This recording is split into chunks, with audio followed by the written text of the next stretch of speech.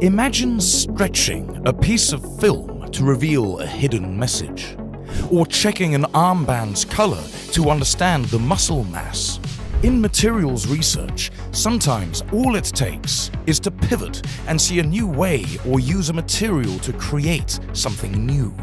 That's what MIT researchers did. They repurposed a 19th century photography technique to make stretch color changing films.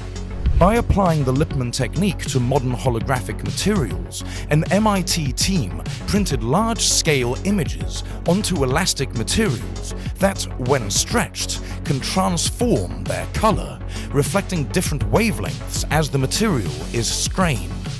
This is the first scalable manufacturing technique for producing detailed, large-scale materials with structural color.